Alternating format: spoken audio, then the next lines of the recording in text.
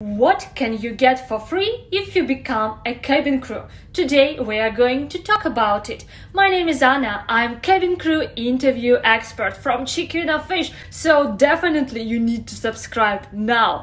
Okay, so what can you get for free or with huge discount? First of all, you get a free relocation if you are going to work for Middle East airline companies such as Emirates, Fly Dubai, Qatar, Etihad. Secondly, you get free accommodation or housing allowance and you are really like under great care you don't pay anything. I mean you don't pay electricity bill no gas bills you just pay literally just for your phone and for um, internet. That's it. Uh, what else? Uh, while you're um, on your layover you don't pay for the hotel or for brunch lunch. Airline companies uh, pay for it and you get some cash during every single layover that you can cover your expenses while you're on your layover. That's amazing. What else?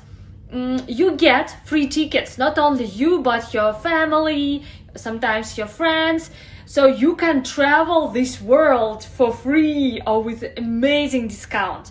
So, what are other bonuses of being a cabin crew? Write in the comments.